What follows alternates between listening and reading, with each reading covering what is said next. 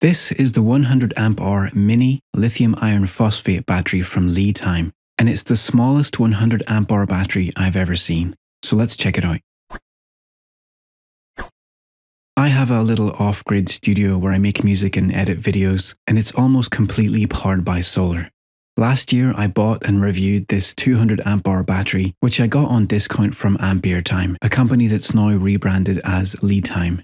This week, they sent me their 100 amp hour mini for the purpose of making this review. It's only half the capacity of my big battery, but it's way smaller than half the size. In fact, you could fit almost four of these in the same space. So, for places where space is a premium like RVs and tiny homes, this is a good way to go. You can link up to 16 of them together. It only weighs 19 pounds and it can be charged from 0 to 100% over 4,000 times or at a 60% depth of discharge over 15,000 times, according to LiTime. I don't have the equipment to rip this apart and test it scientifically the way someone like Will Prowse would, but I wanted to see if it could power my studio and how many hours of use I could get from it on a day with no sun at all. So I fully charged it overnight using this Noco Genius charger, and I'm going to be measuring how many watt hours I can pull from the AC output of my 500 watt inverter. So keep in mind that there will be some energy lost by the inverter, which is only about 85% efficient, but I'll factor that in at the end when I'm doing the numbers.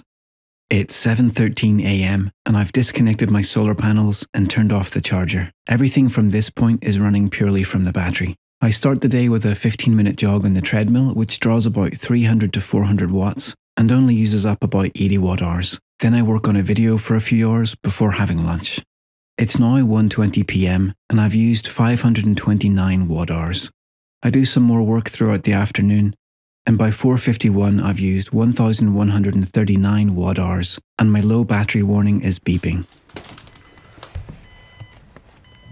So I decide to let it run until my inverter's low voltage cutoff kicks in and the room loses power.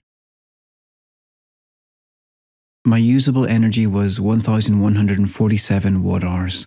time advertises this battery as having 1280 watt hours, so if that's true, and I subtract 15% for the inverter losses, I should be getting about 1088 watt hours, and I got 1147. So just like my 200 amp hour battery from the same company, the 100 mini provides a little bit more than the advertised capacity. If you want to get one, there's a link in the description. It's not an affiliate link and I don't get anything if you buy one, but I've added a discount code that will save you 5% if you do. If you found this useful or interesting, I'd appreciate a thumbs up.